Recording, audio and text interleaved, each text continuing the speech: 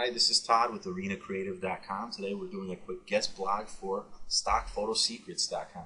What are we going to do today? Well, we're going to do something pretty simple, but a lot of people might not know how to do this.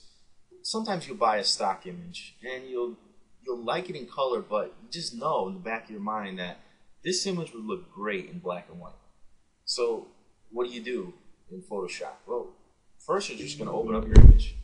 Let's go up to the top the image menu and we're going to go to adjustments and then you're going to go over to black and white. Now in this little dialog box as you can see under the default setting we already have a black and white image. And you know it looks pretty good but play around with it. Try the, the, different options here. You can try the blue filter. Uh, as you can see here the blue filter the sky kind of disappeared. You can click darker. Now we have a little bit of the clouds left over we're getting a little bit more mid-range. Um, you can just use your arrow keys on your keyboard and go through all these until you see one that you just think looks the best. And say if you get close, say if I really like the way the maximum black filter looks.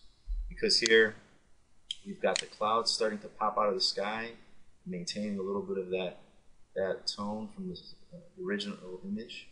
But I'm not sure. I'm gonna I'm gonna tweak some more things. Let's take the cyans and play around with them. Let's see. All right, if I go too dark, you see you start to get a little bit of artifacting. So you don't want to go too much on the levels.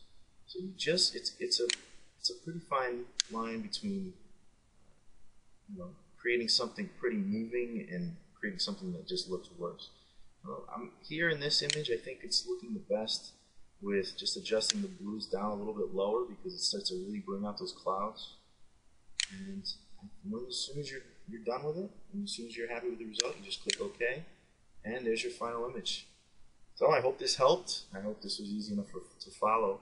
Uh, for more great tips, check out arenacreative.com forward slash blog, and also check out stockphotosecrets.com. Thanks a lot.